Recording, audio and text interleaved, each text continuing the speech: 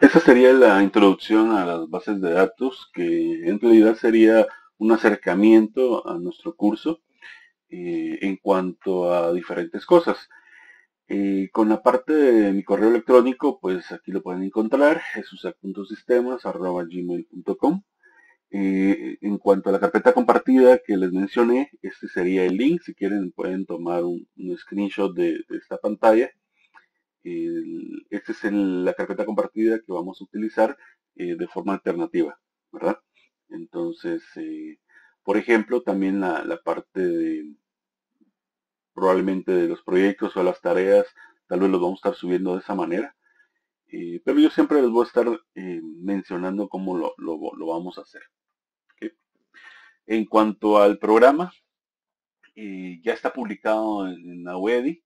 Eh, también les voy a dejar una copia en la carpeta compartida eh, para que la tengamos en cualquiera de las dos formas, ya sea si WEDI no funciona, se puede meter a la carpeta compartida y así podemos no tener problemas a la hora de, que hubiera alguna algún sobresaturación en algún servidor, ¿verdad?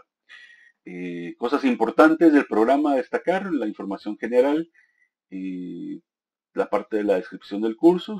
Eh, sabemos que lo que queremos es introducirlos a, los conceptos fundamentales de bases de datos, a la parte administrativa en sí de la base de datos y lo más importante, la teoría relacional, ¿verdad? Su aplicación, el desarrollo de aplicaciones reales en sistemas eh, de bases de datos.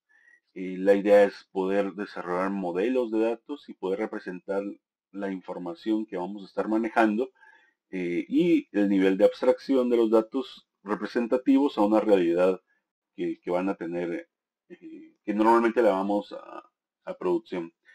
Eh, la idea es de que puedan hacerlo de esa manera. Han habido algunos cursos que han hecho una pequeña introducción a las bases de datos. para manejarlos está bien, pero aquí vamos a entrar ya a una forma teórica, como basarnos de una forma también matemática eh, para ver cómo es que funciona la teoría relacional. hay muchas cosas que, en ese camino que ustedes han, tenido eh, les han enseñado de diferentes formas. Eh, sabemos que todavía nos falta mucho por hacer en, en la facultad, en la escuela. Ah, por el momento ahorita estamos tratando de hacer eso, tratando de homologar los contenidos eh, sin embargo, eh, por ejemplo, con el modelo entidad-relación, cada ingeniero puede enseñar de una forma distinta el diagrama, entonces hay notaciones diferentes, incluso hay quienes utilizan notaciones que ni existen. Entonces eh, ahí tenemos algunos problemas. ahorita vamos a, en todo el curso lo que vamos a ver es la notación Barker. hay quienes, como les digo, hacen un uso de la notación de Barker que normalmente le llaman pata de gallo, pero es que la del pata de gallo es eh, un, poco diferente a Barker, ¿verdad? Tienen algunas, algunas cuestiones semánticas eh, diferentes y de esa manera se diferencian. El problema es de que si ustedes mezclan todas las notaciones, alguien que quiera leer dicho modelo eh, no lo va a poder hacer porque no va a saber si realmente es uno o es otro.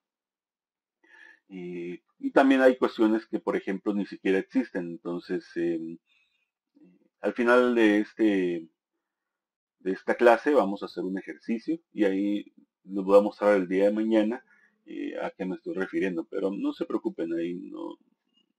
De hecho, para eso sirve el curso de, bases de datos, para que ustedes aterricen bien en esa parte de la teoría relacional, la parte del modelo de entidad-relación, ¿verdad?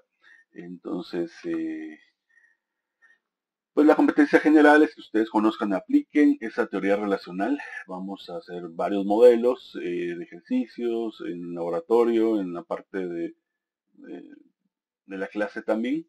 Y como ya saben, la metodología va a ser totalmente virtual. Vamos a estar utilizando las herramientas que ya eh, saben, la parte WEDI para la parte que es, una, es un Moodle, ¿verdad? Entonces ahí vamos a estar metiendo toda la información.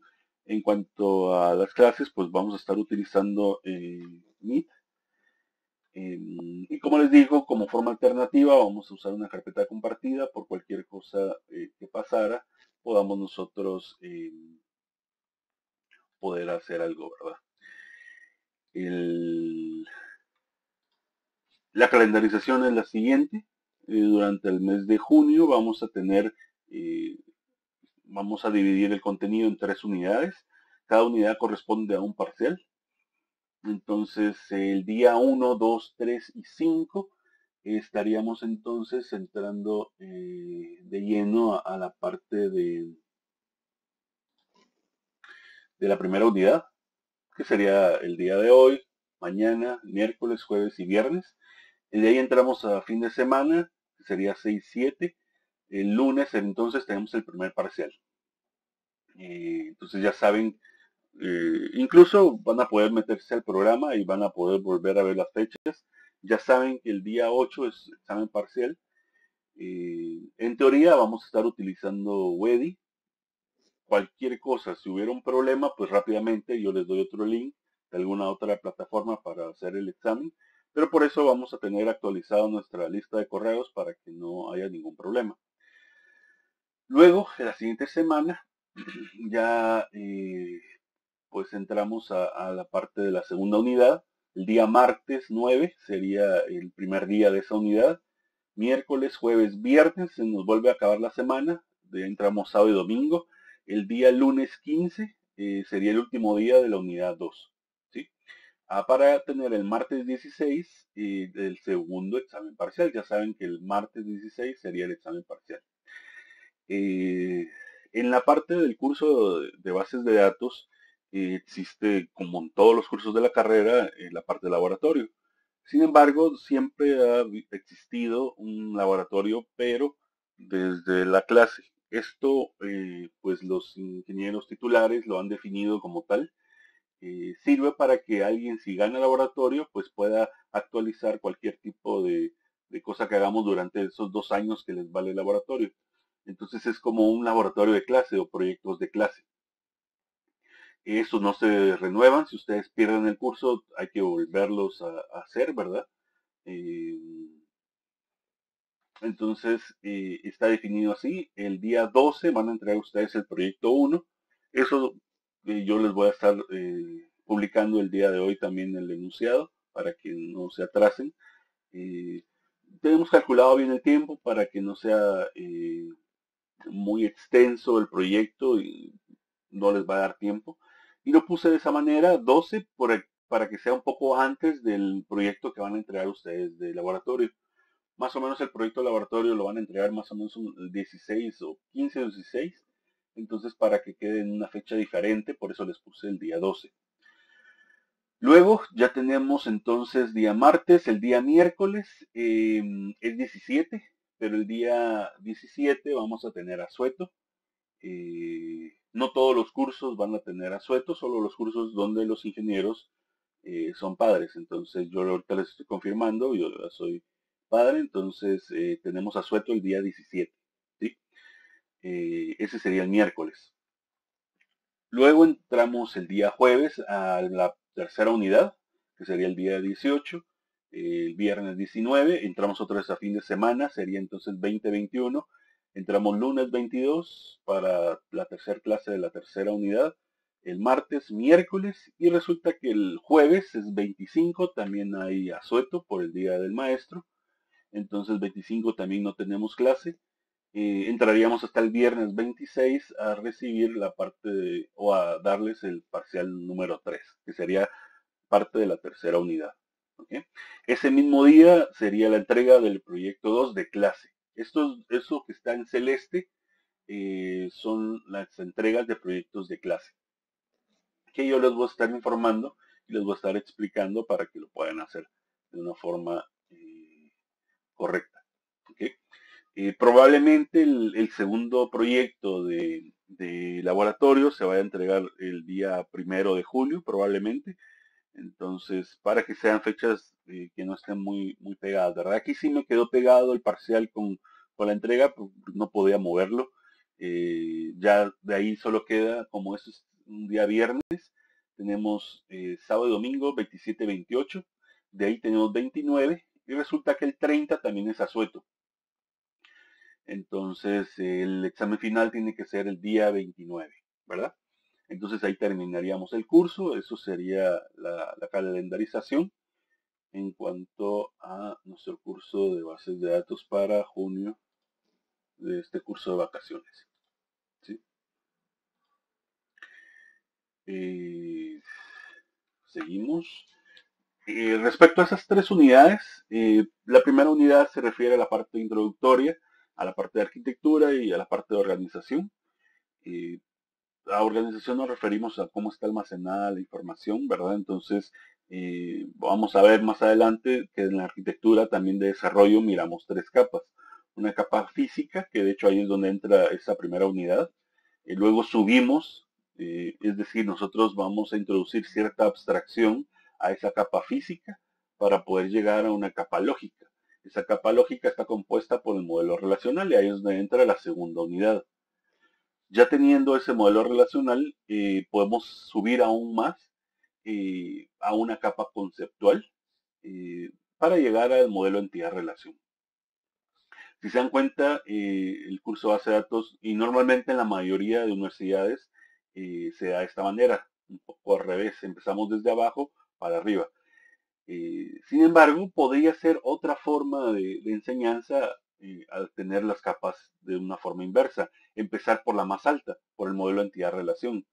El asunto es de que si empezamos por el modelo entidad-relación, estaríamos llegando a la capa física casi a final del curso. Entonces, por ejemplo, ahí entra la parte de SQL, entonces estaríamos un poco desfasados con el laboratorio, porque no, ¿qué les pedirían en, los primeros proyectos o en las primeras prácticas de laboratorio? Entonces, por esa razón se hace de esa manera, ¿verdad? pero sí, en el orden estaríamos empezando desde abajo, pasando en medio el modelo relacional y por último el modelo de tierra-relación que sería el más alto con la parte conceptual. Luego la unidad 3 pues ya se refiere a los mapeos que serían los cambios o equivalencias entre diferentes capas, la capa conceptual, la, la, capa lógica con la capa física, es decir, hay mapeos entre esas tres capas y aquí los vamos a ver. Además, hay ciertos elementos complejos que vamos a, estudiar y que lo podemos agregar a, los modelos entidad-relación, ¿verdad? Eh, normalmente en este curso ustedes tienen que cambiar la perspectiva, convertirse en un DBA, que sería un administrador de la base de datos. Eh, los DBAs pues tienen otra, como les repito, otra perspectiva. Eh, cuando las empresas son grandes, eh, cada persona pues se aplica a un rol totalmente diferente.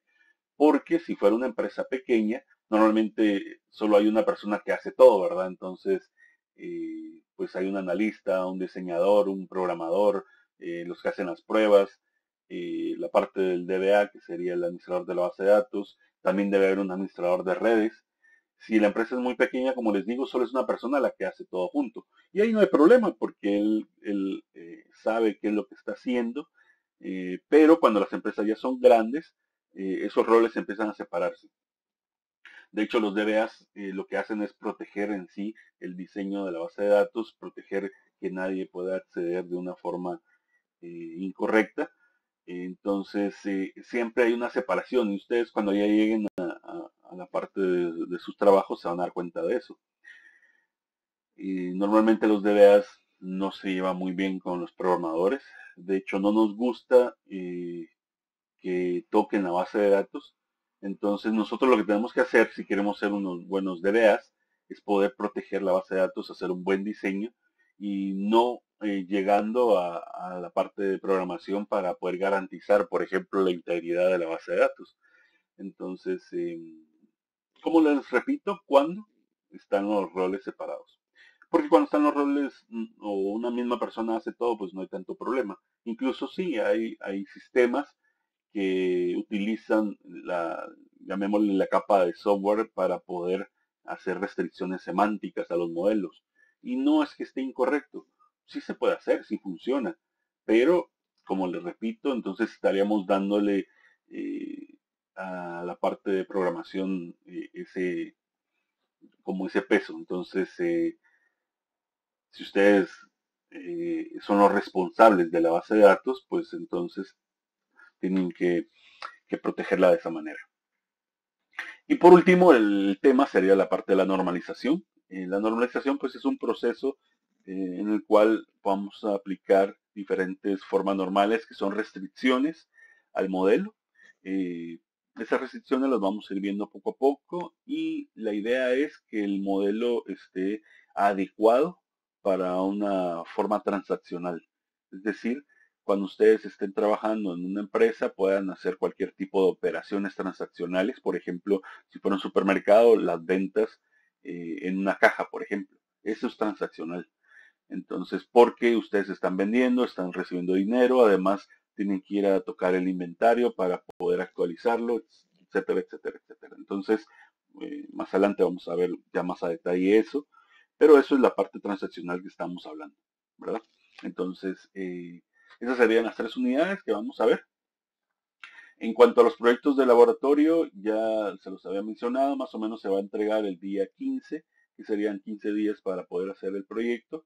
El proyecto 2 se va a entregar 15 días después, sería más o menos como el primero de julio. estas fechas podrían variar dependiendo eh, si su auxiliar eh, tiene algún contratiempo o piensa que se les puede dar un par de días más, ¿verdad? Eh, para la, si bien prórroga o, no. eso solo es una recomendación. la idea es que el tema principal del primer proyecto sea la elaboración de un modelo de entidad-relación y eh, también la elaboración de consultas. Eh, vamos a sugerir que se utilice la parte de Oracle. el auxiliar les debe enseñar a ustedes cómo, si tienen cualquier problema con instalación, eh, se pueden abocar con, el auxiliar. se nos han pedido también que el script de la base de datos no sea generado por ninguna herramienta, por ejemplo con Data Modeler, que es la que vamos a estar utilizando durante el curso. Eh, sino que ustedes escriban, por decirlo así, a mano eh, el script de la base de datos del proyecto. Esto con el fin de que ustedes sepan cómo es que se crea incluso una tabla. Lo que pasa es de que cuando ya llegan a, la parte empresarial, eh, por ejemplo, podría darse el caso de que estén creando una nueva tabla y ni siquiera saben cuál es el código en SQL que se debe escribir para hacerlo. Entonces, em, nos ha pedido de que, eso sea de esa manera, ¿verdad? Entonces, eh, eh, solo es para que ustedes puedan comprender eh, ese punto, ¿sí? En cuanto a al sistema operativo, no, no hay ninguna recepción, ustedes pueden usar el que ustedes quieran. Eso también, no lo puse acá, pero también se lo voy a mencionar al auxiliar. no hay ninguna restricción con, respecto a eso. Ustedes si quieren usar Windows, usan Windows, si quieren usar eh, Linux, usan Linux. Lo que sí necesito que utilicen en el primer proyecto es el DMS de Oracle, ¿verdad? Eh, a veces Oracle es un poco difícil de instalar, por eso necesito que se aboquen con el auxiliar eh, para que puedan, si tienen un problema, para que lo puedan resolver, ¿verdad?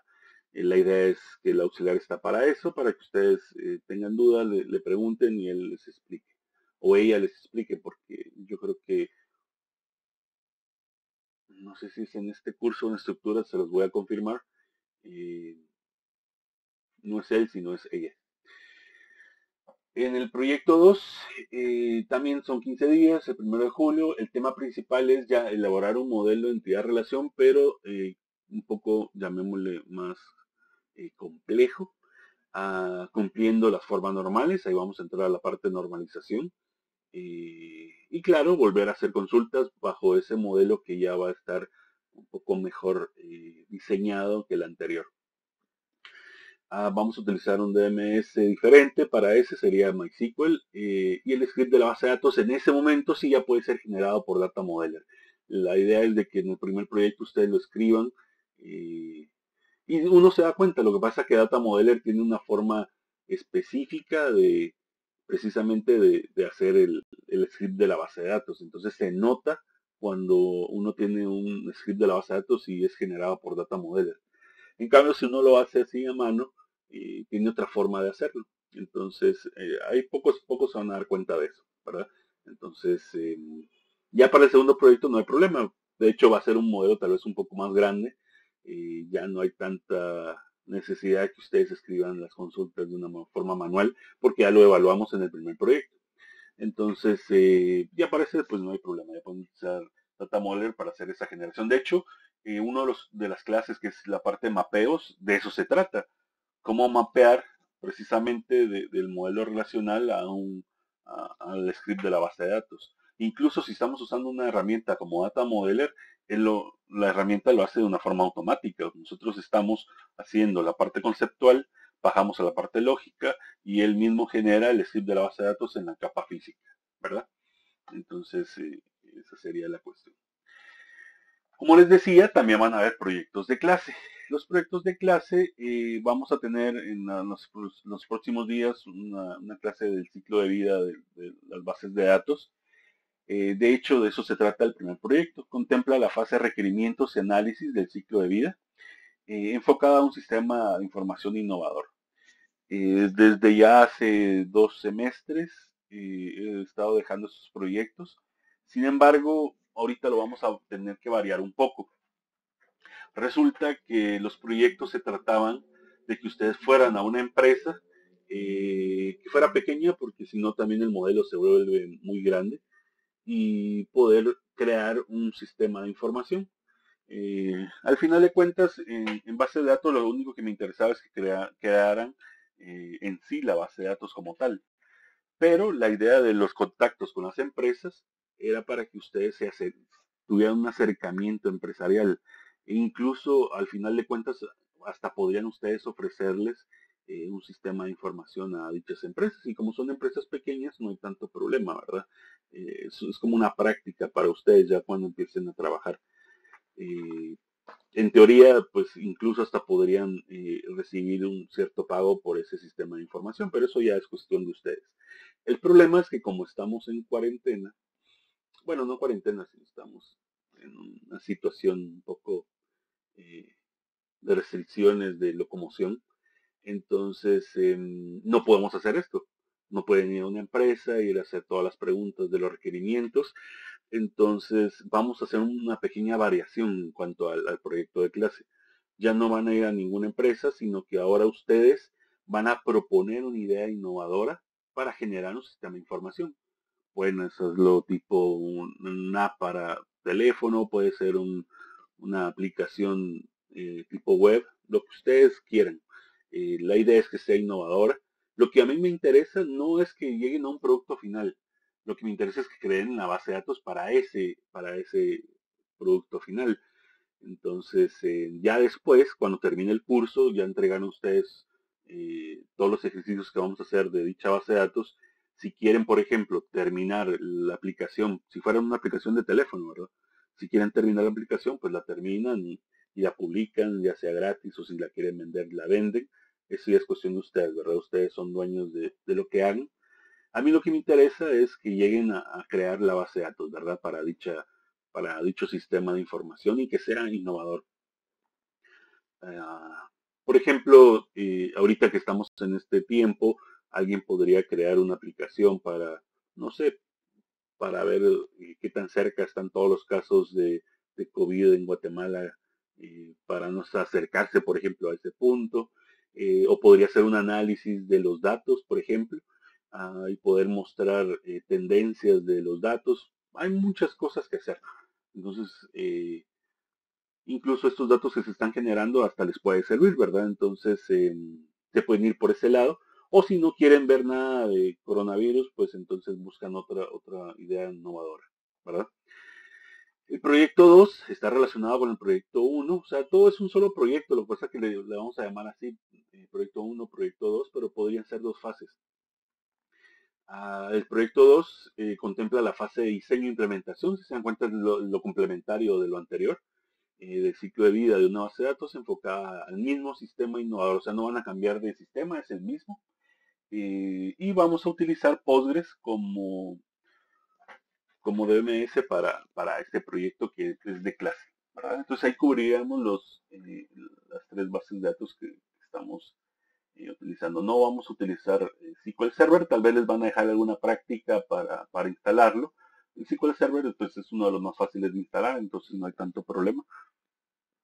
Entonces, eh, tal vez como con una práctica de instalación, tal vez se los van a dejar en laboratorio.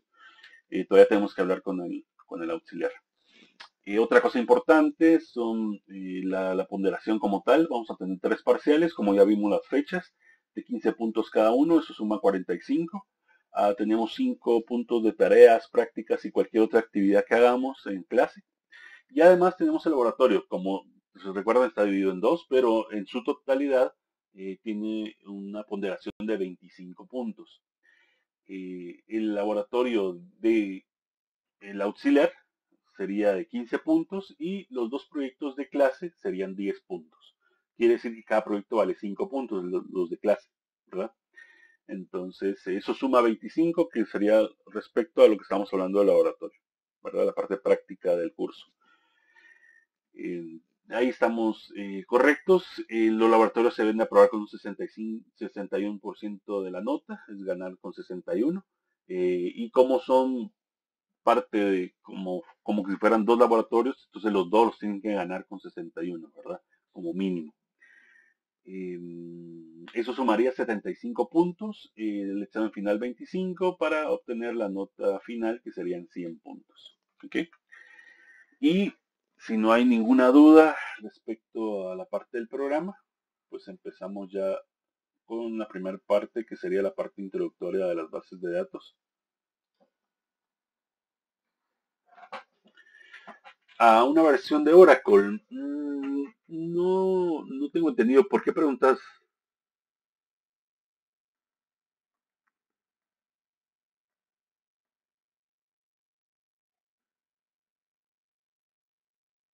¿Han tenido algún problema con alguna versión?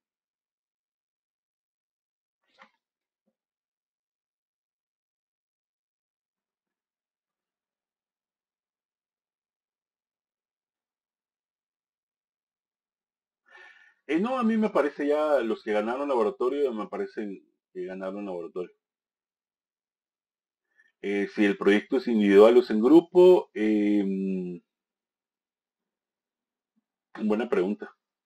Eh, había sido en grupo, pero recuerden que ahora no se pueden estar juntando, a menos que sea virtual. bueno, el proyecto de, de clase sí lo podemos seguir trabajando en grupo, porque igual si, es una idea, pues entre varios lo podría hacer. Lo vamos a dejar opcional. Si ustedes quieren hacerlo en grupo, lo pueden hacer en grupo. Si alguien no quiere juntarse con nadie ni de forma eh, virtual, pues entonces eh, lo hace individual, ¿verdad? Para que no, no haya ningún problema con eso. Eh, todavía anda por ahí Pablo.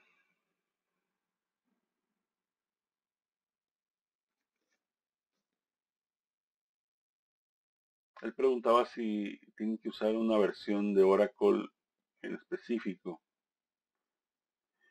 Lo habíamos dejado máximo 3.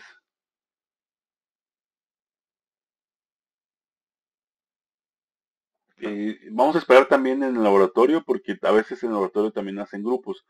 No para los proyectos, sino para cualquier otra cosa. Entonces, eh, eh, podríamos dejarlo igual, ¿verdad? Los mismos proyectos que tengan en laboratorio para los, los proyectos de, de clase. Entonces, eh, esperemos esa parte.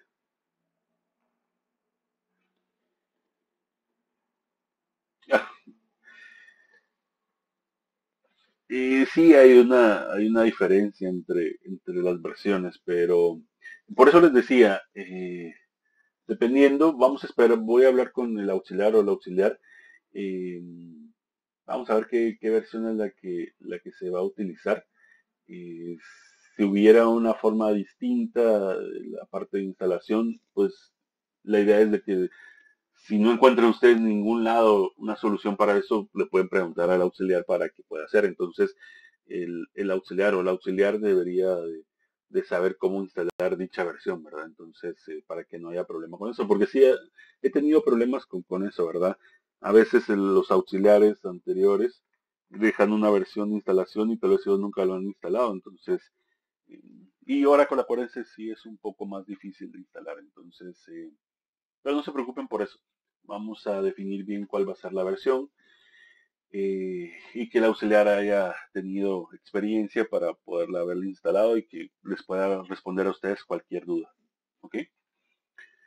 Entonces, si no hay ninguna otra duda, pues ya empezamos con una parte eh, teórica de una base de datos, que para definirla podríamos, podríamos tomar esta definición. Eh, como les digo, hay muchas definiciones, depende si ustedes van a diferentes libros, van a encontrar diferentes definiciones, incluso en internet hay diferentes definiciones. Vamos a utilizar esta. Eh, una base de datos la podemos definir como un conjunto o colección de datos relacionados y almacenados para su posterior uso. Y que ese conjunto de datos sea relevante para la organización. ¿Sí? Eso significa que tiene que ser importante. Esos datos van a ser importantes. Eh, pues eso sería la definición de una base de datos. ¿Qué diferencia tiene con un archivo convencional? Porque pareciera que si le cambiamos base de datos por el término archivo, o sea, un archivo es un conjunto, colección de datos relacionados que están almacenados para su posterior uso. Y además ese conjunto de datos es relevante para la organización. Sí, si, si una empresa almacena un archivo con información, eh, pues se supone que es importante para dicha organización. Entonces es relevante. Entonces no hay diferencias en cuanto a, un archivo o a una base de datos. Nosotros sí sabemos que hay diferencias, pero eh, ¿cómo podríamos diferenciarlas? Eh, si se dan cuenta, hay cuestiones importantes. Eh, por ejemplo, voy a, voy a hacer esto.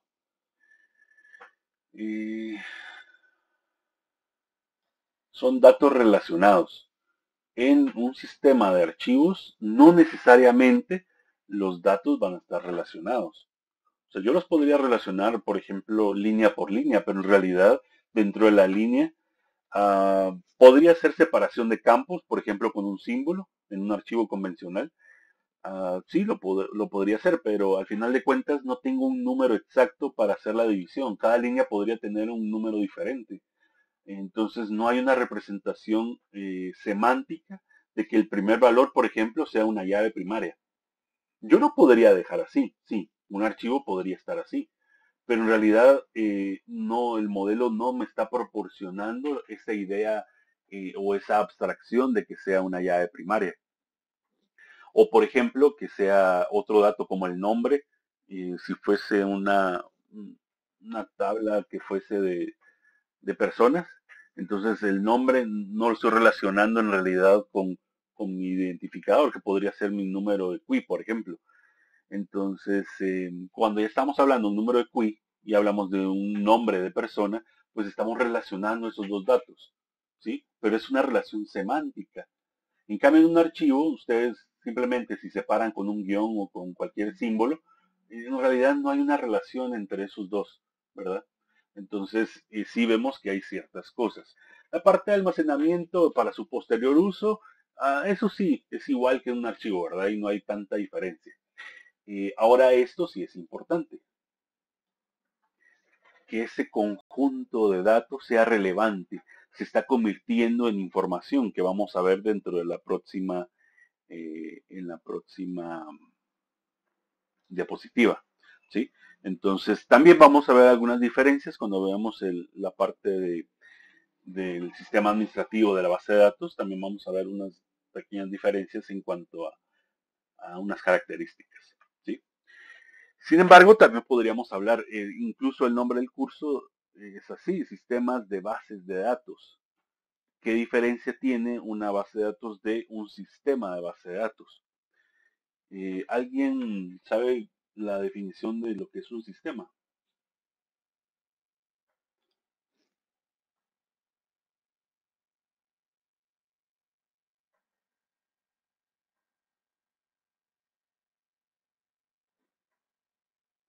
Lo pueden escribir si quieren. ¿Qué es un sistema? Ustedes que van a ser ingenieros en sistemas.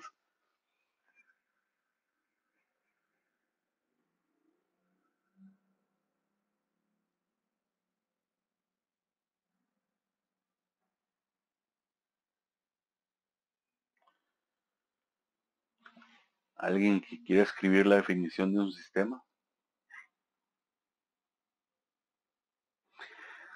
Dice Francisco que es un conjunto de elementos relacionados entre sí. Sí, eso sería correcto. Solo faltaría algo más. para qué están relacionados, ¿verdad?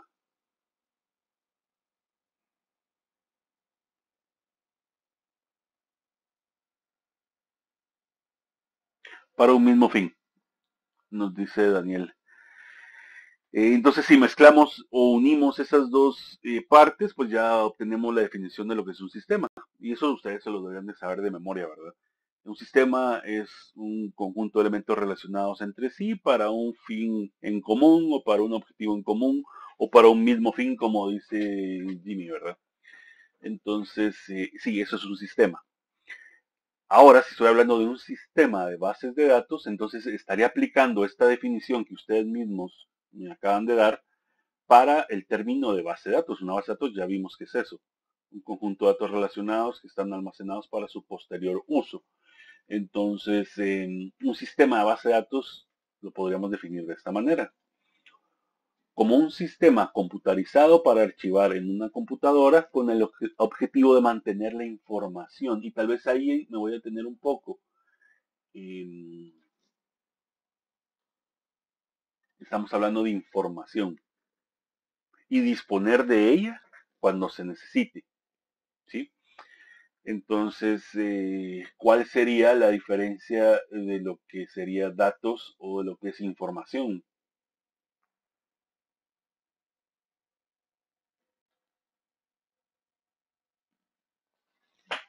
¿O para ustedes sería lo mismo?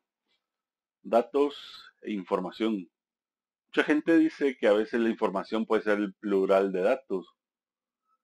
Entonces, muchos datos se convierten en información.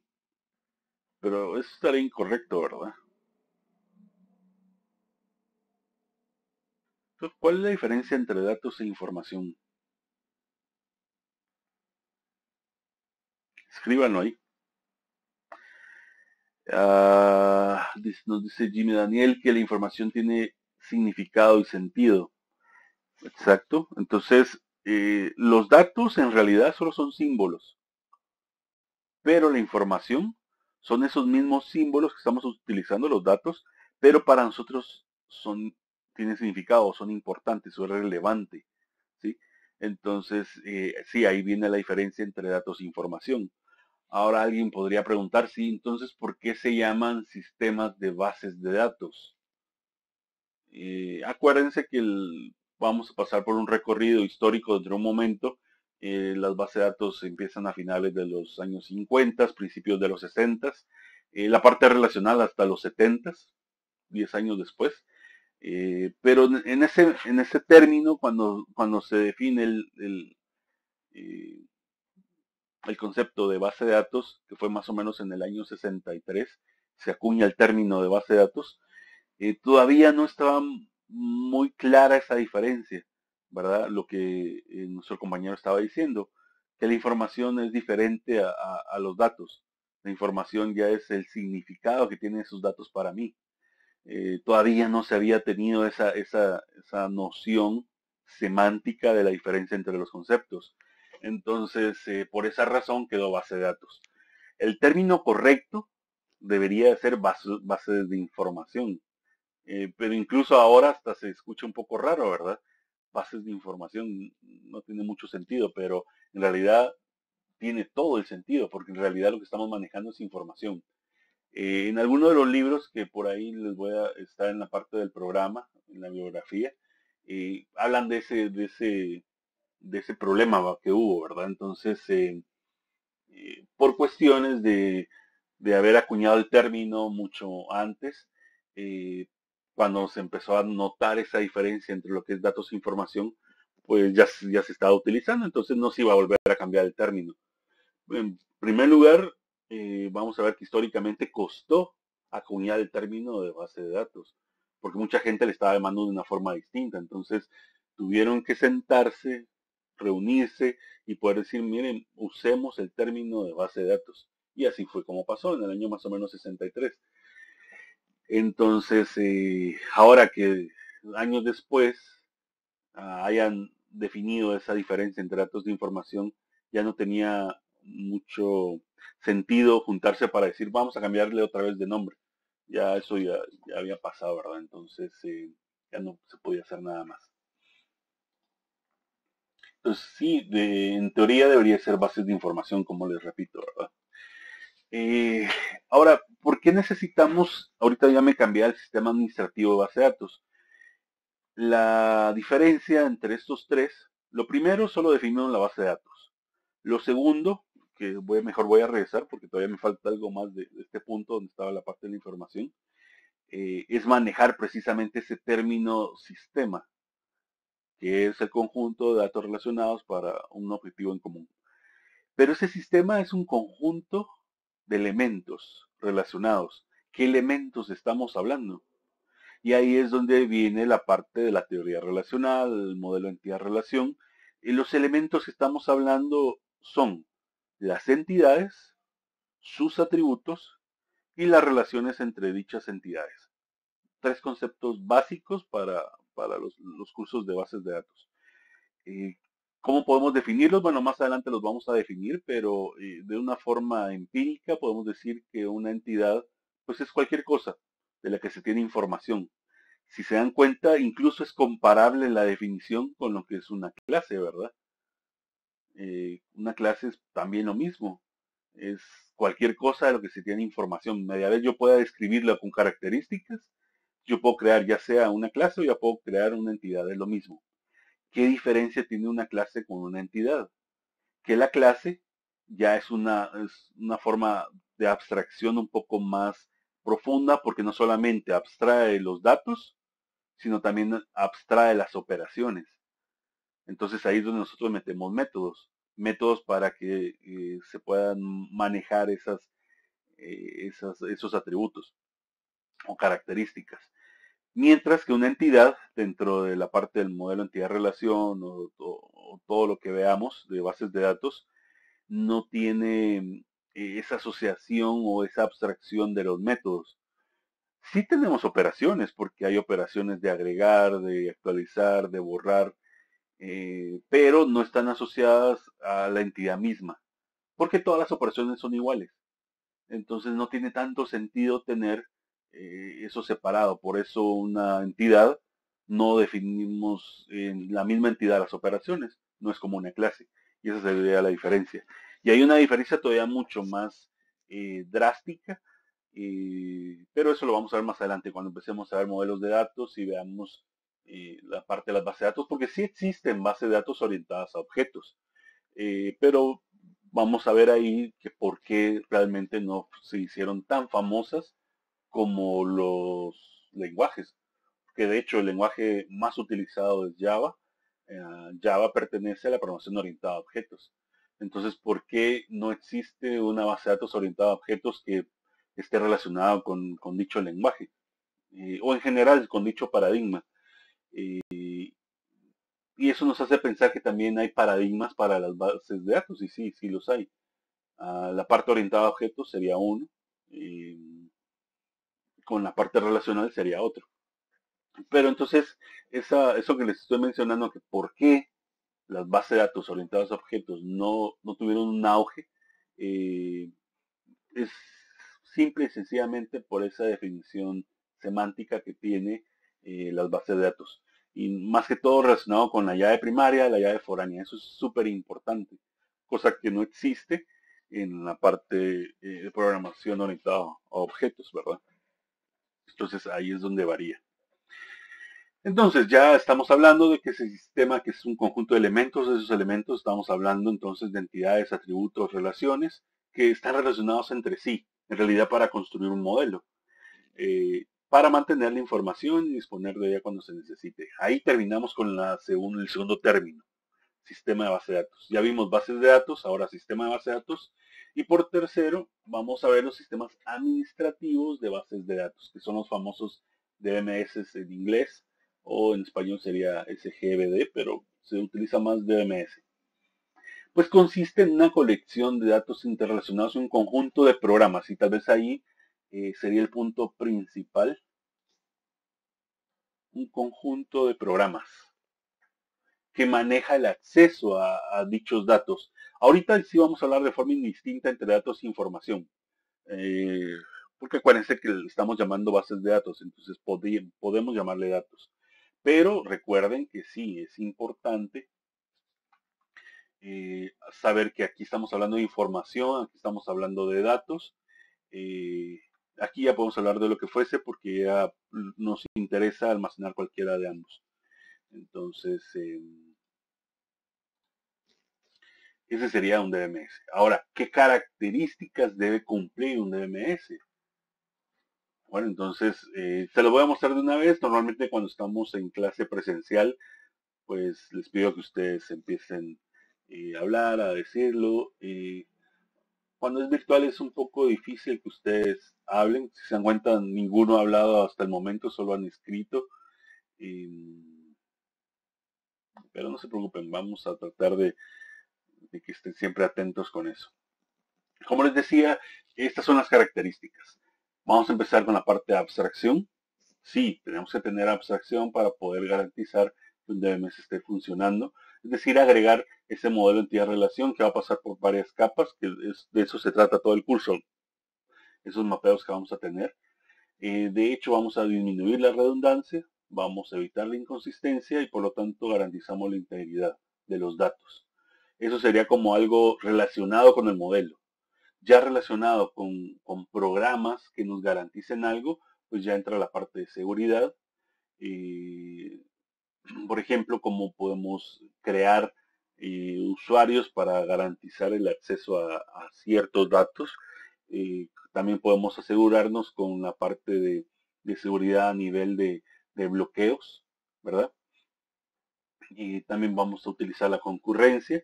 Eso es muy importante porque si fuera un sistema, y estos serían algunas ventajas eh, que podríamos mencionar de una base de datos respecto a un sistema de archivos convencional. Eh, por ejemplo, un, sistema de archivos, ustedes no tienen concurrencia, ¿verdad? La diferencia entre concurrencia y, por ejemplo, paralelo, eh, es que la concurrencia es como una serialización de ese paralelismo la idea es de que pareciera que ustedes están trabajando en paralelo, pero en realidad están trabajando en serial. Y cuando entren, no sé si ya pasaron por, su curso de orga, y, si no, lo van a ver ahí. Yo creo que ya tuvieron que haber pasado, pero no estoy seguro.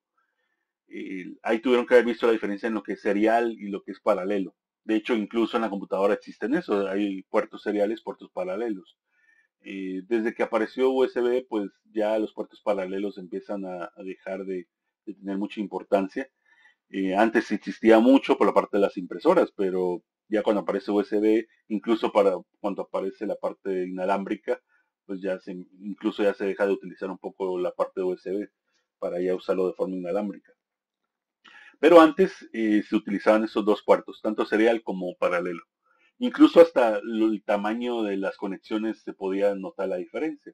Un puerto serial era pequeño y un puerto paralelo pues tenía que ser un conector grande con muchas entradas o muchos pines. Eh, es por eso, porque la información está viajando al mismo tiempo si es paralelo.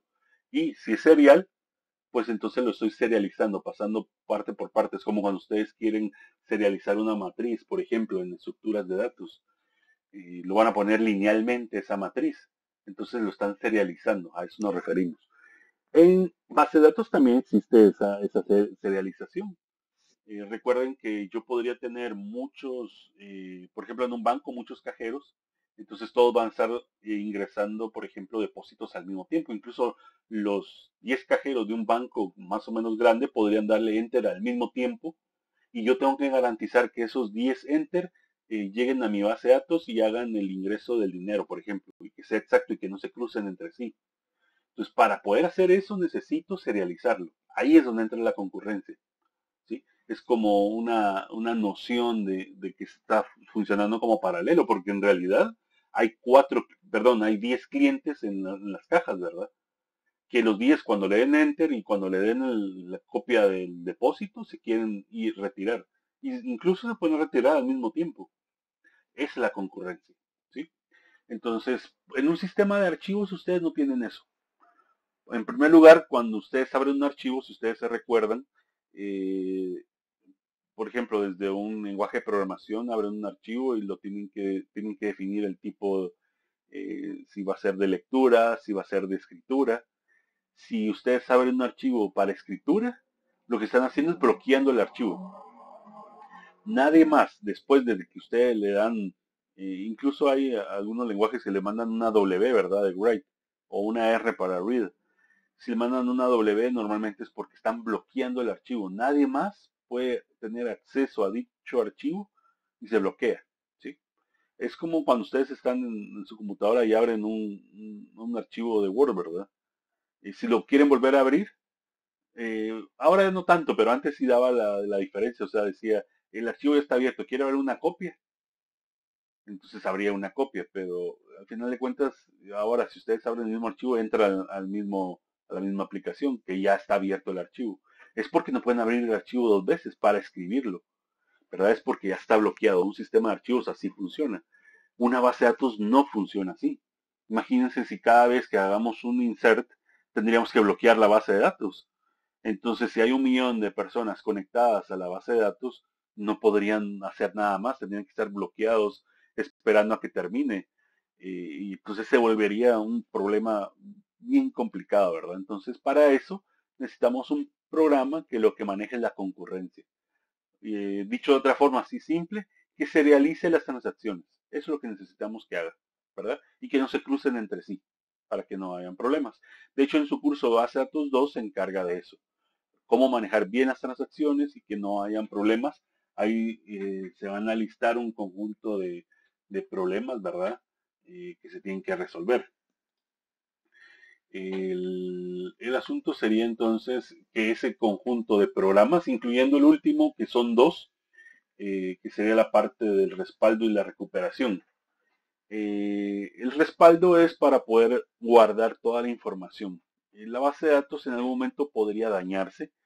Eh, si es en línea, podría yo no tener acceso a dicha información. Entonces a veces necesito hacer un respaldo, un backup.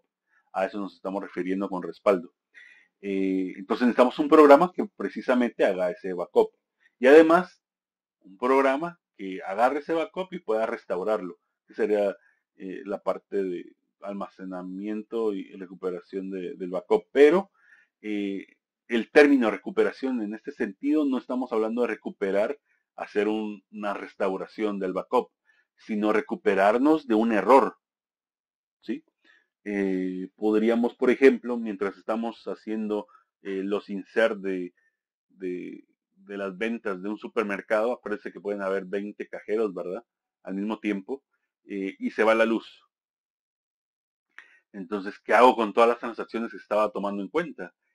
También tiene que haber un mecanismo para decir, bueno, voy a recuperar ciertas transacciones hasta cierto punto. Es como regresar en el tiempo. O, si ya terminé la transacción, simplemente decir, ya, ya está eh, verificada. Eh, ya le hicieron un commit, así se le, se le llama. Por lo tanto, entonces yo ya puedo dejar esa transacción como finalizada, no necesito meterla dentro del análisis para recuperarla. Entonces, eh, hay muchas formas de hacer ese, tipo de recuperación. Eso también lo van a ver en su curso base de datos 2. Ahorita se los menciono porque todas esas son las características importantes. Y si ustedes, por ejemplo, tienen un sistema de archivos y a ese sistema de archivos le aplican todos estos programas y lo quisieran pasar a programas, en realidad lo que están construyendo es un DMS, ¿verdad? Entonces, si un, si un sistema de archivos nos garantiza todas estas características que les estoy mostrando, pues entonces esto se estaría convirtiendo en lo que es un sistema administrativo de base de datos. Eh, de, esos, de esas características hay tres conceptos importantes y que además están relacionados. Eh, lo que queremos evitar es la redundancia. ¿sí? ¿Dónde se provoca la redundancia? Por ejemplo, si ustedes quisieran eh, hacer un tipo de base de datos y quieren, quieren utilizar Excel. De hecho, hay muchas empresas, y créanme que es cierto, hay muchas empresas que utilizan eh, eh, Excel para poder almacenar información. ¿sí? Entonces, cuando ustedes están manejando en Excel, ustedes se dan cuenta que puede aparecer mucha redundancia. Por ejemplo, si están hablando de una factura, entonces, todas las líneas tienen que tener el número de factura, el, número, el nombre del cliente, etcétera, etcétera, etcétera. Todos los datos que va a tener una factura y, cada línea va a repetir esa información. Eso es la redundancia. ¿sí? Nosotros, por ejemplo, en Excel lo que podemos hacer es eh, podemos combinar celdas, ¿verdad? A la hora de combinar, en realidad lo que estamos haciendo es precisamente quitando la redundancia. ¿sí? Eso es quitar la redundancia. Ustedes cuando combinan cinco celdas y dejan un solo dato para esa celda combinada, lo que están haciendo es reduciendo la redundancia. No quieren tener redundancia. Y en base de datos también existe esa redundancia. Entonces, lo primero que queremos hacer es quitarla, evitar a toda costa que exista eh, redundancia en nuestra base de datos. ¿sí? Cuando nosotros podemos garantizar que no hay redundancia, eh, de cierta manera lo que estamos garantizando es el siguiente concepto, la consistencia, porque entonces nuestros datos son consistentes. ¿sí? Eh, por ejemplo, cuando ustedes van a hacer una actualización, ¿qué pasa si tienen almacenada la información en cinco partes diferentes? Eso sería la redundancia. Eh, por ejemplo, van a actualizar a una de las partes, pero ¿qué pasa si no actualizan las otras cuatro? Entonces, en realidad, el dato que están modificando ya no es consistente, porque hay cuatro versiones diferentes de, o cinco, o el número que fuese, eh, versiones diferentes del mismo dato, ¿verdad? Entonces, esa redundancia lo que provoca es inconsistencia en los datos. Entonces, eh, aquí lo estoy poniendo de lo que nosotros queremos de una base de datos. Primero, que no tenga redundancia. Eso lo que provoca es que mi base de datos sea consistente. ¿sí? Y si mi, base de datos es consistente, entonces tenemos el tercer concepto, la integridad.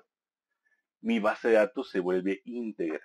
Es decir, no tiene ningún, ninguna, llamémosle, discrepancia entre sí. Por ejemplo, podríamos relacionarlo con lo que es una persona. ¿Cuándo decimos una persona es íntegra? Una persona íntegra es la que hace lo que dice. Por ejemplo, si él está diciendo eh, tal y tal cosa, eh, sus hechos van a estar relacionados con lo que él está hablando, ¿verdad? Entonces, eh, por lo tanto, esa persona es íntegra, no tiene cambios, por ejemplo. Entonces, esto dice una cosa, pero por detrás hago otra, eso no, no es íntegro. La base de datos también tiene cierto nivel de integridad. Entonces, eh, si un dato yo lo modifico, pues ese dato va, tiene que estar ahí almacenado para todo el tiempo que vaya a durar la base de datos. Eh, y además no tiene que tener diferentes definiciones como tal. Si yo digo, bueno, eh, el dato para cierta persona es tal, no tiene que haber otro. Y además no tiene que cambiar en el tiempo, siempre lo voy a tener disponible. Entonces cuando garantizo todo eso, mi base de datos es íntegra. Entonces, eh, tiene una cierta relación. Si no hay redundancia, mi base de datos es consistente y si mi base de datos es consistente, mi base de datos es íntegra o hay integridad en la base de datos. ¿sí? Esos tres conceptos son muy importantes, no se les vaya a olvidar. Pasamos a una parte histórica y como les decía, es importante saberlo de dónde venimos porque así sabemos para dónde vamos. Lo más antiguo que se tiene conocimiento de base de datos es en el año 59. Eh, no, se, no se tenía el término de base de datos, como les repito. Hablábamos de, sistemas de datos, ¿verdad? Uh, aparece como una conferencia o tipo comité que lo que quería era definir un lenguaje. ¿sí? Ese lenguaje para que, eh, definirlo para que poder manejar precisamente las bases de datos, entre comillas, porque acuérdense que el término todavía no existía. Eh, lo que importaba era poder estructurar los datos en archivos. Ya sabían que había que guardar en archivos, pero es que había que darle una estructura.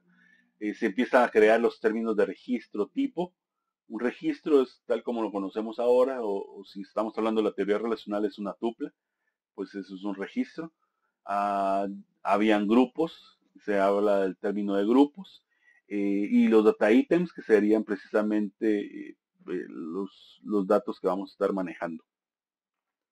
COBOL aparece como lenguaje oficial de Codacil para poder manejar eso. Las bases de datos en ese tiempo empezaron a manejarse en ese lenguaje, en COBOL.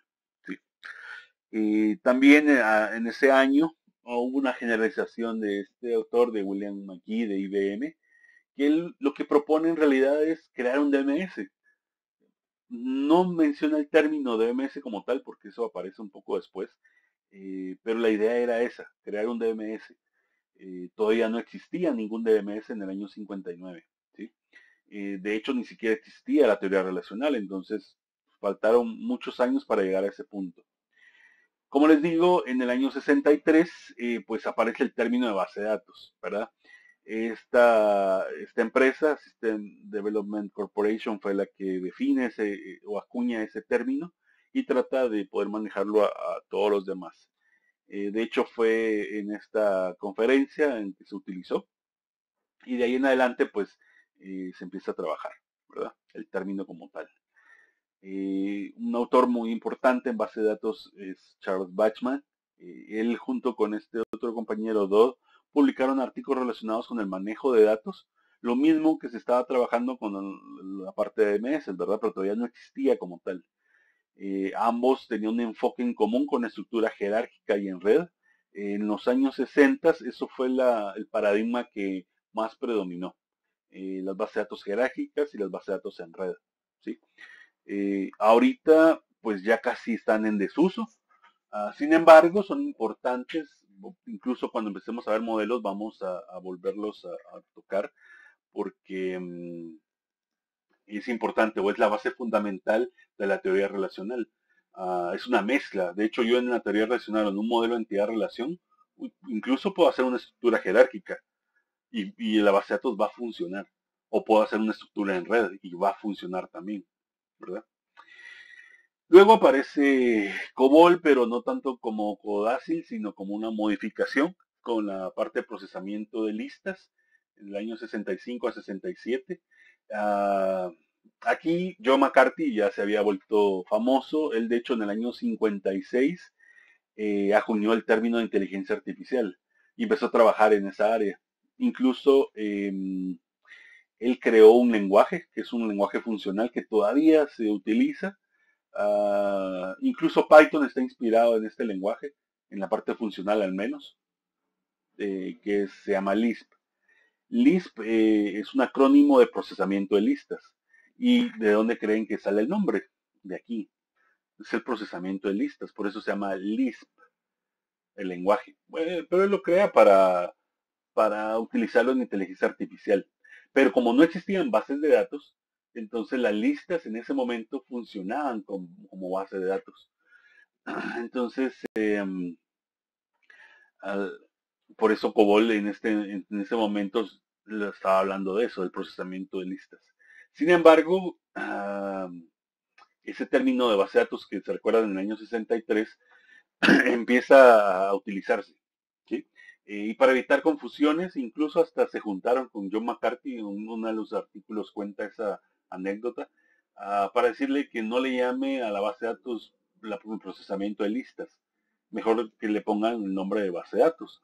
Y él pues está de acuerdo, él, no hay ningún problema, utilizó el término base de datos, pero eh, él sí estaba manejando el procesamiento de listas. Es decir, no, él no estaba creando bases de datos, él estaba manejando su propio lenguaje funcional que se llama Lisp, todavía existe, como les digo, eh, y él quería procesar listas, listas dinámicas, eh, para poder resolver problemas de inteligencia artificial. Entonces ahí no hubo tanto problema. El problema fue al principio, que COBOL se definió bajo el aspecto de Joe McCarthy, pero pues, simplemente fue cómo poderlo unir del año 67 al 73, eh, pues fue creado ya Codacil, ya cambia, ya no es procesamiento de lista, ya se convierte en, una base de datos.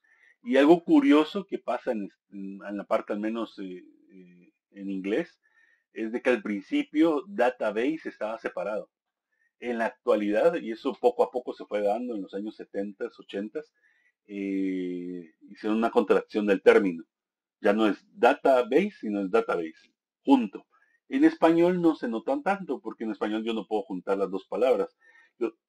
El término que digo es base de datos está separado. Entonces, eh, pero en inglés sí se nota esa, ese término, ¿verdad? Al principio database separado y ahora pues database, juntos, sin espacio.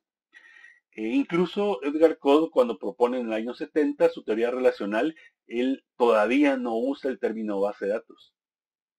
Estamos hablando del año 70. Ya habían pasado siete años desde que el término se había acuñado, base de datos. Eh, si ustedes buscan en internet el artículo eh, original de Edgar Code del año 70, él habla de banco de datos. Es un databank. Entonces, em, pues ahora pues es un poco curioso ver la, definición que se daban en esos años y que cada, cada persona estaba tomando rumbos diferentes, ¿verdad? Para definir los, términos. Pero poco a poco se volvieron a, juntar, ¿verdad? Entonces, incluso Edgar Cole, eh, un par de años después, eh, ya no usa el término databank, sino ya empieza a utilizar el término database, ¿verdad? Ya, ya hace esa como unión entre las dos cosas. Estaba hablando de lo mismo. Que pasa que le estaba dando un nombre diferente, pero porque también se conocía así como los bancos de datos, ¿verdad? Por eso usaba ese término de databank. En, el 73 pues ya empezaron a utilizar esos términos para poder ideal, idealizar una forma central del procesamiento eh, que sería lo que se convertiría en un DMS. De hecho, los primeros DMS relacionales empiezan a aparecer hasta mediados de los 70, eh, volviéndose ya a producción o, empresariales eh, casi a principios de los 80, ¿verdad? Entonces, eh, se da de esa manera. Ah, ya del 75 al 80, Peter Chen propone el modelo de entidad-relación, imagínense, también se fue dando un poco diferente, ¿verdad? Ni siquiera las tres capas que les acabo de mencionar, que los vamos a ver en la próxima clase, eh, tienen un orden, capa conceptual arriba, capa lógica en medio y capa física abajo, en ese orden, pero no fue en ese orden que fueron apareciendo los modelos. Fue distinto. Por ejemplo, Peter Chenas al año 75 propone la capa superior, ¿verdad? Donde ya existían las capas inferiores. Entonces, eh, por esa razón también el orden en el cual nosotros teníamos el curso también de esa forma, porque más o menos tendría eh, un orden cronológico, más o menos, ¿verdad? Eh, durante esos cinco años, pues se desarrollaron los primeros DMS relacionales, System R e Ingress. uno es de IBM y otro es de académico, que es la parte de Ingress. A finales de los 70 ya se habían definido tres formas de dependencias de datos seis formas normales, eh, refiriéndose a la teoría relacional, ¿verdad? Eh, ya en la siguiente década, de los 80 a 90, se inicia el desarrollo de diferentes DMS, en su mayoría todos derivados de System R y de Ingress, ¿verdad? Eh, y si no es una derivación directa, pues es una forma inspirada o una forma de trabajar parecida. Entonces, podríamos decir que son trabajos derivados. A finales de esta década, SQL se vuelve un estándar. Eh, SQL aparece del año 73, entonces eh, imagínense, eh, a finales, casi llegando a los 90, se vuelve estándar. Quiere decir que pasó más de 15 años siendo propietario de IBM sin que nadie pudiera utilizarlo. Entonces, solo R, que era IBM, podía utilizar SQL. Pero Ingress, que era académico, no podía utilizar SQL, tenía que inventarse otro lenguaje. Y ese fue uno de los problemas que tuvo Ingress, que dentro de un momento vamos a ver. Eh, ya cuando se liberó el lenguaje, pues SQL se convirtió en el lenguaje por defecto de los DMS relacionales, ¿verdad? Entonces de ahí en adelante, todas las, bases de datos pues empezaron a utilizar SQL. Incluso, ahorita vamos a ver la historia de Ingress con, junto con Postgres. Ah, de la década 90 a los 2000 se desarrolló, recuérdense, Internet, después en el 95 aparece PHP, PHP por necesidad necesitaba una base de datos que fuese rápida. Aparece MySQL como una propuesta de una base de datos para web, eh, creando así la famosa web 2.0, ¿verdad? Que es una, llamémosle, una versión de la web constructivista. La diferencia entre la web 2.0 y la 1.0, que sería la 1, versión 1, versión 2, es que la versión 1 era solo mostrar páginas estáticas. La web, la web 2.0 es bueno, ahora vamos a interactuar. No solamente muestro la página, sino le pregunto a la persona qué opina de dicha página. Y eso, ese motivo de que haber creado PHP MySQL para poder hacer esa interacción, eh, hace que de hecho se puedan crear las primeras redes sociales. Si la web 2.0 no hubiera aparecido gracias a PHP y MySQL, ustedes no tuvieran ahorita redes sociales, Entonces es un punto muy importante. Eh, ya existe una web 3.0 que es la web semántica, sin embargo la web semántica no ha tenido mucho auge, entonces eh, ah, la web semántica se refiere a, cómo darle un poco más de significado a todos los elementos relacionados que tiene eh, la parte de la web, por ejemplo un HTML, cómo hago que una foto se relacione con otra por alguna relación semántica. Es un poco más difícil de ver, por eso es de que el creador de la web no lo hizo de esa manera desde el principio. Él desde el principio ya sabía que podía ser semántico, pero al principio no lo definió así. La 1.0 es la forma estática y más adelante, ya en esos años, pues empieza a aparecer la 2, luego la 3. Pero la 3, por ser tan compleja y porque Internet ya estaba hecho, ah, es muy difícil que todos los servidores se cambien, ¿verdad? Igual como muchas otras cosas. No sé si también eh, han visto lo que ha pasado, por ejemplo, con las versiones de, IP, por ejemplo. Ah, ya existe IP versión 6, sin embargo nosotros seguimos utilizando IP versión 5, perdón, versión 4. Eh, la que utilizamos eh, los, los, números como para nuestra red local 192.168.0.1. Eso es IP versión 4. Si ustedes quisieran utilizar ya eh, las nuevas versiones, eh, eso empieza a crecer. La idea es poder tener más números. Sin embargo, ya han pasado no sé cuántos años desde la, creación de estos, de estos nuevos, eh, nuevas formas de definir los números de protocolos de Internet, pero no se utilizan. Aunque ya exista, ¿verdad? Si ustedes lo miran desde su computadora, sí pueden ver que, que ya, ya hay y hay soporte para esas versiones.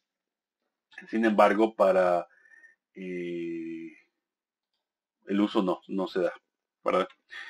Por ejemplo, ah, no solamente en IP versión 6 se da eso. Eh, por ejemplo, no sé si han escuchado ustedes los protocolos de seguridad para, para HTTP. Cuando ustedes le agregan el S, el HTTPS, están agregando un protocolo de seguridad que es de transporte. Eh, normalmente eso está montado sobre algo que se llama SSL. ¿sí? SSL es un sistema de seguridad precisamente para ese protocolo.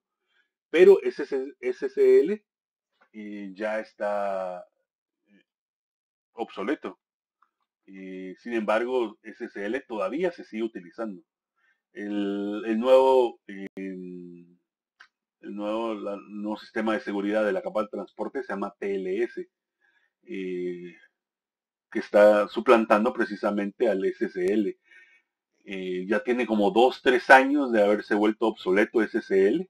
Ah, sin embargo, la gente lo sigue utilizando.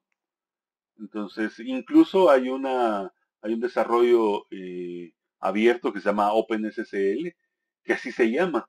No va a cambiar de nombre, incluso aunque utilice lo nuevo, la nueva forma de seguridad, la capa de transporte TLS, pues va a estar, va a seguirse llamando OpenSSL porque el nombre no, se ha cambiado, ¿verdad?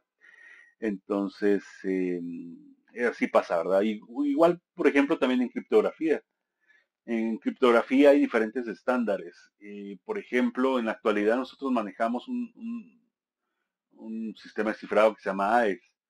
Ah, la mayoría de herramientas lo utilizan. Por ejemplo, si ustedes se meten a WhatsApp, les aparece el, término. Este, eh, esta comunicación está cifrada de punto a punto y si se meten a, ver más información, les dice que está utilizando AES. AES es un sistema de cifrado estándar. Antes de AES ya, había existido DES, que es otro sistema de cifrado antiguo de los años 70. Pero para nuestra, para muestra de lo que les estoy diciendo, DES todavía se utiliza.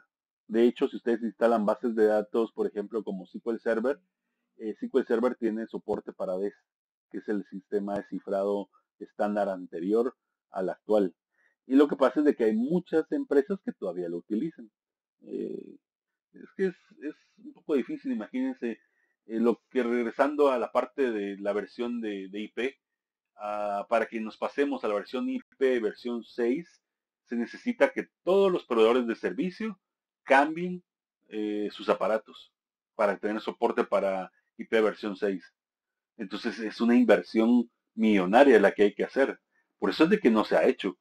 A países como China, como Rusia, están detrás de eso porque son los países que ya casi no tienen eh, números de IPs. En cambio, aquí en Guatemala, por ejemplo, ustedes van a Claro y, piden un número de IP, se los venden creo como a 10 dólares al mes y les dan una IP pública, una dirección pública. No, o sea que nosotros todavía tenemos. Pero si se van a China o a Rusia y piden una IP pública, no hay. Entonces, em, es problemático, ¿verdad? O los costos empiezan a elevarse, ¿verdad? De esas, de las IP, IP públicas. Entonces, eh, y es por esa razón, y por eso ellos quieren ya tener la IP versión 6 para tener más números, porque no les alcanza. Ah, hasta cuando ya exista ese cambio, esa inversión en, hardware, pues entonces probablemente pasamos a la versión 6, ¿verdad? Eh, ¿Qué más? aparece también OLAP y los sistemas de análisis de datos para toma de decisiones, toda la parte que se refiere al análisis dimensional que también lo van a ver en su curso base de datos 2 o en el curso de seminario de sistemas 2 también. Hay ingenieros que meten ese tema ahí. La parte de Data Warehouse es muy importante. De ahí, del 2000 en adelante, pues eh, lo único que ha pasado es que se ha proliferado todo el paradigma no SQL, eh, empezando por la parte del paradigma documental que es liderado por Mongo. Eh, está enfocado a la parte documental, pero incluso Mongo también afirma que puede manejar la parte transaccional, es decir, la parte relacional. Entonces, pero fue hecho para la parte documental, ¿verdad? Eh, debido a ese incremento exponencial de los dispositivos móviles a finales de los 2000, eh, se retoma la, parte de la base de datos ligeras, ah, liderada por SQLite. SQLite no es nueva, a ustedes lo pueden empezar a escuchar cuando empiecen a programar, por ejemplo, para Android, pero SQLite es, ya es antigua. Lo que pasa es de que no había forma de poderlo utilizar. Entonces, hasta ahora que se utilizan en dispositivos móviles, pues entonces aparece otra vez SQLite, ¿verdad? Eh, en la actualidad lo único que hay son nuevas estrategias, por ejemplo la parte de cloud, la parte de Big Data y algunos otros paradigmas de base de datos que han estado apareciendo, ¿verdad? Pero la parte relacional se sigue utilizando. En cuanto a la historia de los DMS, eh, podemos ver que en el año 71 aparece Adabas. Eh, lo único que Adabas era un sistema múltiple. Entonces sí manejaba la parte relacional, pero también manejaba otros, otros paradigmas. Entonces no lo podemos considerar un DMS eh, propiamente relacional. Pero se menciona porque por el año, precisamente, solo vio la publicación de code del año 70 inmediatamente empezó a hacer modificaciones a su DMS, entonces por eso fue el primero que apareció, pero no es el primer DMS relacional total. Los primeros DMS relacionales son los dos de abajo. En el año 74 aparecen los dos eh, de la misma manera. Ah, de hecho, eh, IBM presentaba algunas, algunos avances del sistema R. algunos académicos llegaban a esas posiciones de hecho, uno de los profesores de apellido Stonebreaker que, que trabaja en la Universidad de Berkeley eh, llega a esas presentaciones de IBM y empieza a idear un, proyecto que se llama Ingres, eh, que es totalmente académico. De hecho, eso ayudó mucho, tal vez no para que existieran, porque de hecho ninguno de los dos existe ahora, ah, pero Ingres, eh, su creación como tal de forma académica sirvió para que IBM empezara a, aplicarle para el desarrollo del sistema R. Eh, IBM no quería crear una base de datos relacional. Ah, y un poco contradictorio porque Edgar Code de hecho trabajaba para IBM. IBM, me imagino, le pide que crea un, nuevo paradigma que sería el modelo relacional. Ah, sin embargo, cuando ya se crea en el año 70, eh, IBM no se pone a desarrollar ningún DMS relacional. De hecho, ni siquiera asoció a Code a la parte de System R. Code nunca trabajó con el desarrollo de la base de datos. él solo creó la parte teórica. El artículo que nosotros manejamos y toda la información que él creó de las bases de datos relacionales, todo lo dejó en una forma teórica, nunca pudo implementarlo, porque IBM lo, quitó de, de, esa parte. Y es que es bien claro, porque IBM estaba ganando millones de dólares vendiendo eh, base de datos que sean jerárquicos y, en red, por ejemplo, en ese tiempo. Entonces no le interesaba para nada crear un nuevo modelo, eh, un nuevo DMS basado en este modelo relacional. Eh, no había necesidad, ¿verdad?, de invertir millones de dólares para que eso sucediera. Entonces, por eso no lo hizo. Pasaron hasta el año 74 que solo estaban haciendo algunas presentaciones que Ingres empieza a hacer el desarrollo. Entonces, ni modo, ahí sí IBM tuvo que empezar a apoyarle también al desarrollo del sistema R. De hecho, más o menos pasaron cinco años para que esos DMS se tuvieran completos, ¿verdad? Más o menos el desarrollo fue de esta manera, en el año 75 y fue en el 74, pero aquí lo estoy tomando cada cinco años, entonces por eso pongo 75. Eh, aparecen los dos primeros DMS eh, relacionales, completamente relacionales. Ingres, por un lado, es la parte académica y Sistema R sería la parte empresarial, liderada por IBM. Entonces ellos hacen los primeros DMS. Ah, luego estas flechas que ustedes miran acá, las que son continuas, es porque hay un desarrollo directo o al menos utilizaron una de las partes del DMS. Si hay una línea puntiaguda es porque solo está inspirado o utilizaron una parte muy pequeña, por ejemplo, del, gestor. Por ejemplo, R en algún momento eh, idea la parte de, las bases de datos o el motor de base de datos ISAM. Eh, ese motor ISAM es utilizado por MySQL, por eso aquí hay una línea eh, discontinua, porque hay algo que utilizó a partir de ese DMS, ¿verdad? Entonces, em, porque hay varios colores, todo lo que esté en blanco eh, son bases de datos que sí existen. Ah, todo lo que está en negro son bases de datos que ya no existen. si está en gris es porque son las primeras bases de datos que, están rankeadas, ¿verdad? Hay un ranking de bases de datos, esas son las primeras. Y las que tienen subrayados porque tienen una descarga o que son eh, datos eh, de código abierto algunos o que tienen al menos una descarga como tipo comunidad, ¿verdad? O Express como Oracle, eh, que es, en teoría es gratis, pero por ejemplo MySQL sí, bueno, MySQL ya está desapareciendo en cuanto a la parte de open source, porque para eso existe MariaDB. Ahorita vamos a ver ese, ese, tema.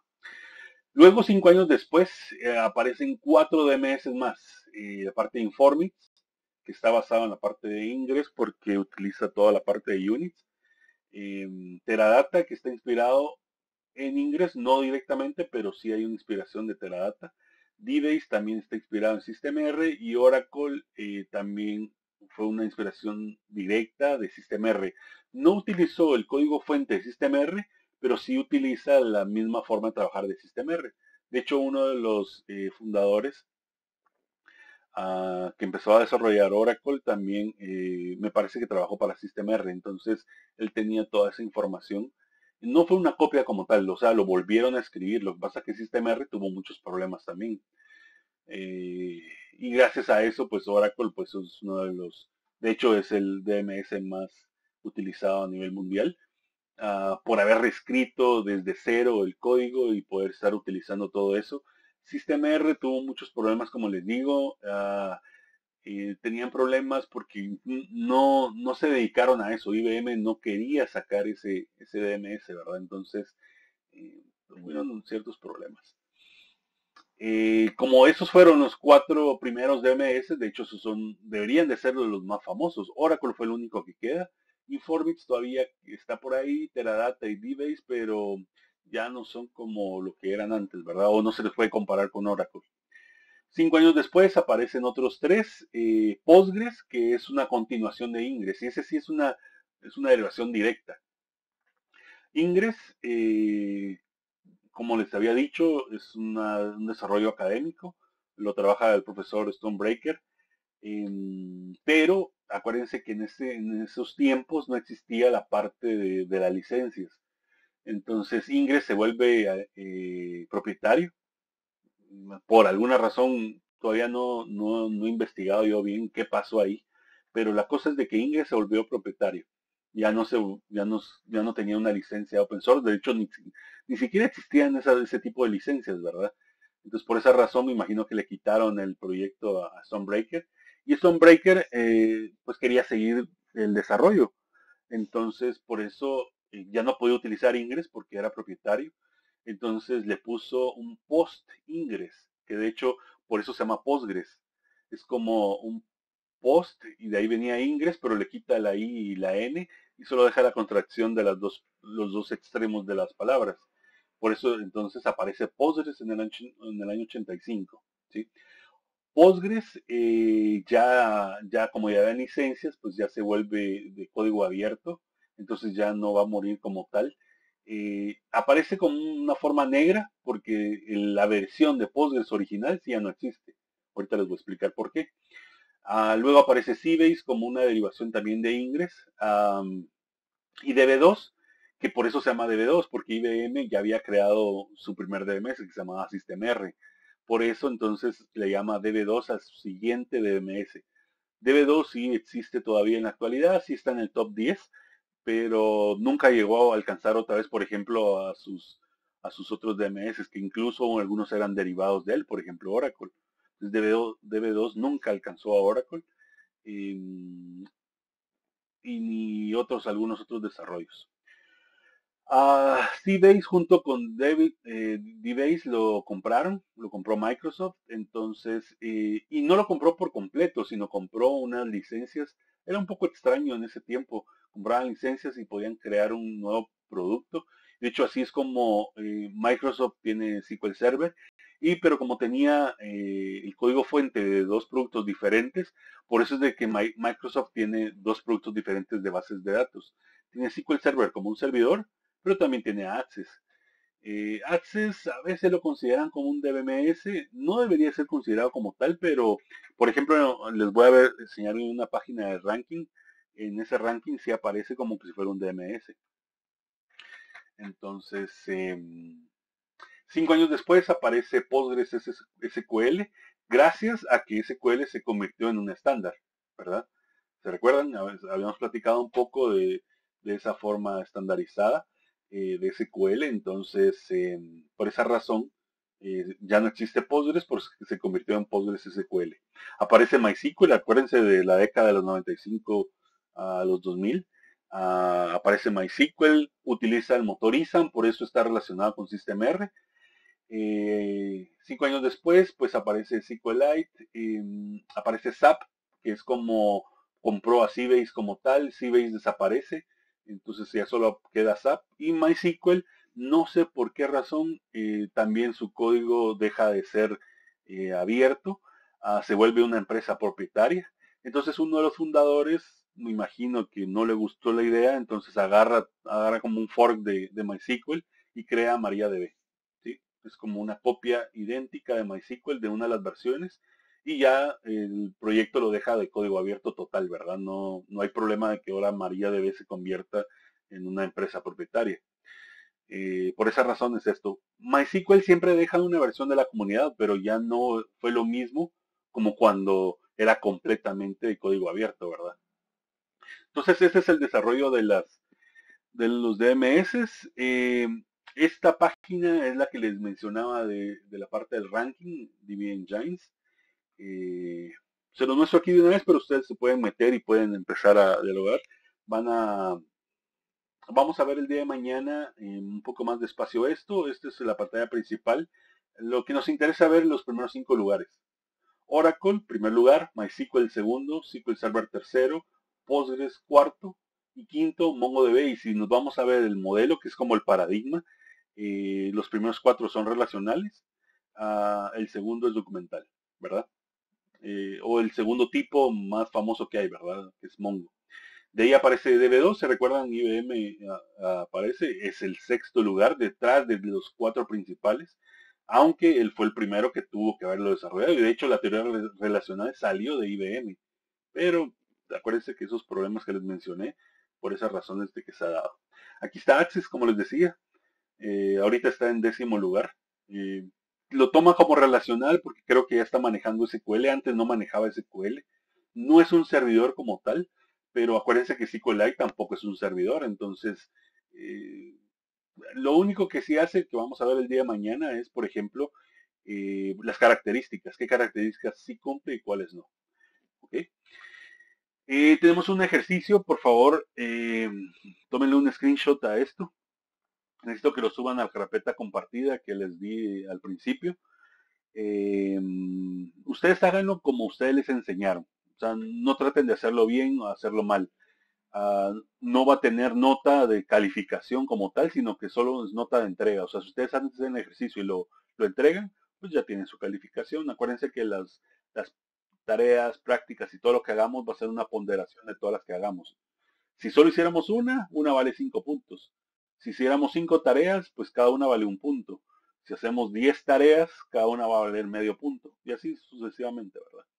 Entonces, esta es la primera, es un ejercicio, ahí lo van a poder subir la carpeta compartida. Y como les digo, media vez lo entreguen, ya tienen sus puntos. Lo que yo necesito es mostrarles el día de mañana las diferencias de notaciones que han estado utilizando, incluso ah, si están bien o están mal la, notación que utilizan. No se preocupen, ustedes háganlo como sea, o sea, la, el culpable no son ustedes, el culpable son las personas que les han enseñado mal los modelos, por eso no se preocupen, no vamos a decir el nombre de nadie que, haga tal eh, modelo entidad-relación, si lo hizo bien, si lo hizo mal, no, o sea, solo me interesa ver esos puntos y que les quede claro a ustedes qué es lo que no tienen que hacer, ¿ok?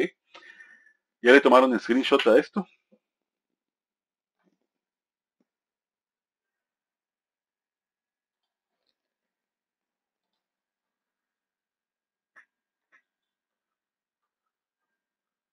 ¿Qué,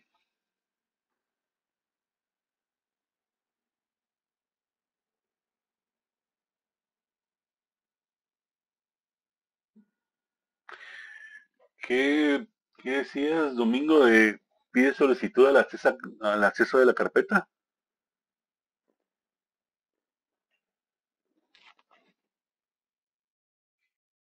¿Sí, buenos días? ¿Sí?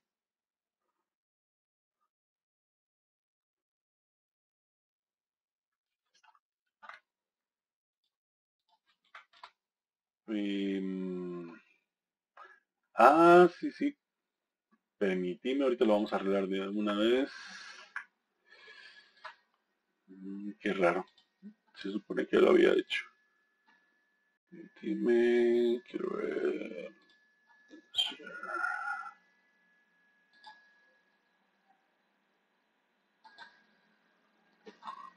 Prueben ahorita.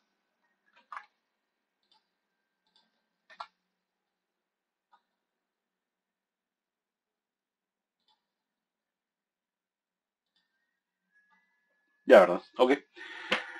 Entonces, eh, ahí está la carpeta para que puedan subir este ejercicio. Tienen todo el día de hoy para hacerlo.